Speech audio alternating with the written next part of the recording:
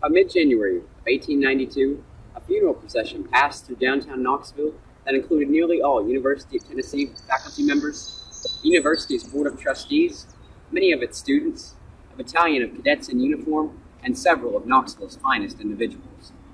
It must have been an incredible sight to see so many of Knoxville's most notable individuals come out to honor one of its most beloved contributors. But who was the gentleman behind such honors? I stand at Old Gray Cemetery, resting place of Thomas William Humes. Thomas William Humes was one of Knoxville's most notable 19th century individuals, and by the time he had passed, Humes had served as church rector, Civil War leader, published author, philanthropist, university president, and humanitarian. Join us as we chronicle the life of Thomas William Humes.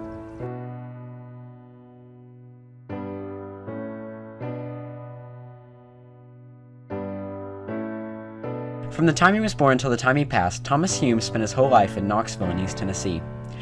The building that I stand at today is the Bijou Theater. By the time he was born, this was a family home for Thomas Humes and his mother.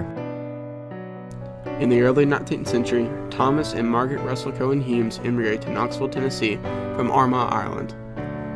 Humes' father began constructing a hotel to be named the Thomas Humes House in 1815. That same year, Thomas William was born in downtown Knoxville. However, his father passed away just a year later in 1816. Thomas William and his mother Margaret oversaw the building's completion, continued living in the hotel, and began renting it out. It became one of the prettiest buildings in Knoxville and became the city's premier hotel. It later would become the Lamar House Hotel and would serve as a key gathering place for Knoxville's most prominent individuals. Today it stands as the historic Knoxville Bijou Theater. Growing up, Thomas William became familiarized with faith and demonstrated great potential as a bright young man. By the age of 15, Humes graduated from East Tennessee College with his AB degree in 1830. Two years later, Humes earned his master's degree. He then went to the Princeton Theological Seminary, intending to become a Presbyterian minister. However, he opted against this after deciding he could not take the Westminster Confession of Faith. He later returned to Knoxville in the late 1830s.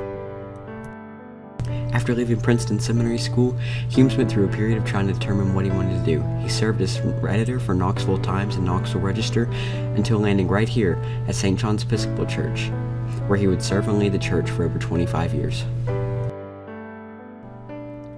In 1840, Humes was nominated by fellow Whig Party members to become a legislative representative. But due to overconfidence and a lack of preparation, Humes narrowly lost the election by only a few votes. Because of this, he refocused on being a Christian minister. This led him to apply for order from Reverend James Otey, and he became deacon of the Protestant Episcopal Church in Columbia, Tennessee in 1845. In August of 1845, he was ordained as a presbyter at the Episcopal Church in downtown Knoxville, and by 1846, Humes became rector of St. John's Church. He served as rector until 1861, when because of his Union sympathies, he was forced to resign his position. However, in 1863, when the Union captured Knoxville, General Burnside specially requested that Humes return to his rectorship. Humes remained as rector until 1869. As the Civil War and the debate over slavery raged on in America, Thomas William Humes was particularly outspoken about his disapproval of slavery. When Confederacy took over Knoxville, he declared it a reign of terror, disagreeing with the way that they ran the city.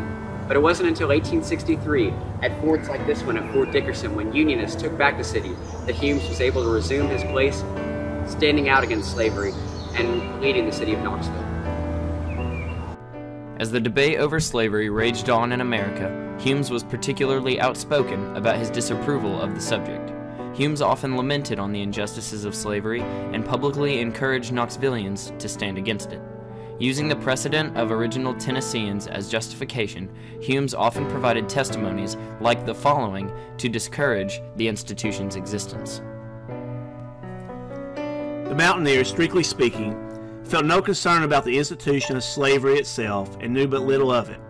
Generally, they looked upon slavery as something foreign to their social life, but they had no impurity, philanthropic impulses to contend against it.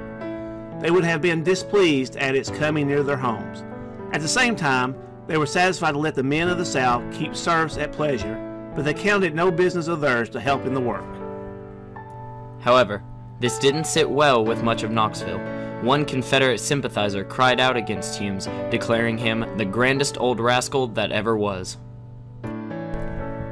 As the Civil War came to an end, Thomas Humes was approved under unanimous decision by the Board of Trustees to become the new president of East Tennessee University. Immediately, he set his sights on reviving and restoring the war torn university.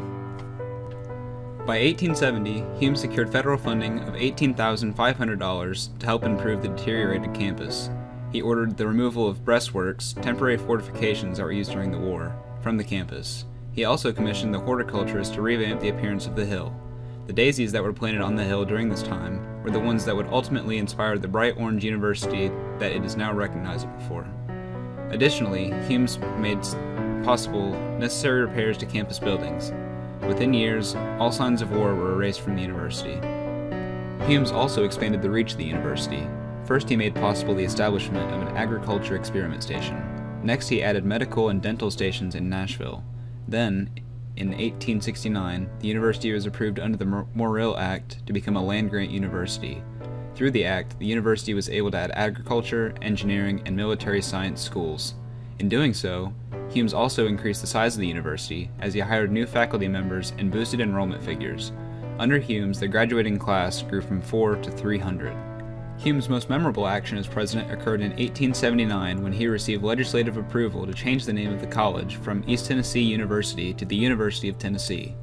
Showing that the college was one for students from all corners of the state of Tennessee, this would be the final name change to the university. In all, Humes acquired nearly $400,500 in funding to restore the university, rebuilt and rebranded the war-torn college, and added several schools and departments to grow it. The college experienced much expansion and improvement thanks to his work and will forever be indebted to Humes for his success as president. To recognize him, UT built and named a dorm in his honor. Humes Hall stands a testament to his contributions. However, Hume's time with the University of Tennessee would come to an end in 1883 when he was at odds with the university's Board of Trustees. Humes held a far more progressive stance on integration of the university than others did within the state. That year, he resigned due to the disagreement. Hume's dream of students of all color being educated at a world class level alongside each other would not ultimately come true until 1961. Outside of his involved working life, Thomas Humes also had a complexly knit personal life. He was an involved family man and a dedicated community figure. And it was places like this, at Lawson McGhee Library, where Thomas Humes would spend the remainder of his life after his time as UT president. In his faith, Humes was originally of Catholic nature, but he believed it was more important to be a Christian than to be part of a certain denomination. This belief led him to travel to several churches of differing denominations in his available time. He was first married in Knoxville on December 4, 1834, to Cornelia Williams of Grainger County, Tennessee. Thomas and Cornelia gave birth to three children, of whom one, Andrew Russell Humes, survived. His first wife, Cornelia, died in 1847 at the age of 30. Two years later, on April 12, 1849, Humes married his second wife, Anna B. Williams. Anna was a successful lawyer and a member of the Connecticut legislature. Thomas and Anna had five children, but only two daughters survived birth. Humes was also extremely active in East Tennessee affairs. He was a devout Republican with the overarching goal of bettering Knoxville and providing opportunities to those who are in need. In 1864, Humes became the chairman of the East Tennessee Relief Association. As chairman, Humes focused on helping Unionists left needy after the war. Under his leadership, the association distributed $150,000 among those who suffered from the war. Humes also co founded the St. John's Orphanage, which further supported Knoxville's poor. Humes was very passionate about education for all people. He taught free African Americans under his own roof. Through such efforts, Humes educated Laura Scott, Tennessee's first African American teacher. He also acquired Peabody funding for the establishment of a public school system in Knoxville. He was always a public spirited man. Upon stepping down from UT, Humes became the first librarian for Lawson McGhee Library in downtown Knoxville. At the same time, he published his own book that told the story about East Tennessee's proud Unionists. Entitled Loyal Mountaineers of Tennessee, his love for the region is made clear by statements such as the following East Tennessee should be presented to the nation as a splendid example of unadulterated patriotism, grounded in a deep and strong love for their whole country. Upon passing on January 16, 1892, Thomas Humes was buried alongside his late wife Anna, who had passed 13 years prior in Knoxville's Old Gray Cemetery.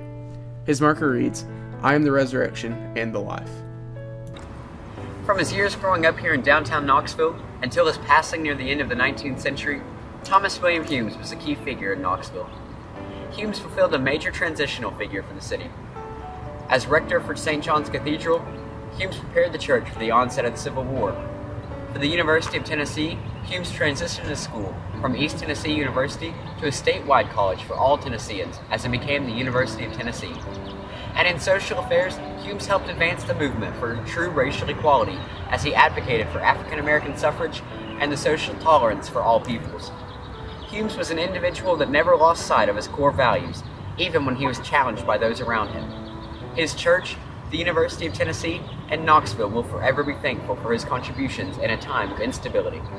Thank you for joining us as we retold the remarkable story of the life of the Honorable Thomas William Humes.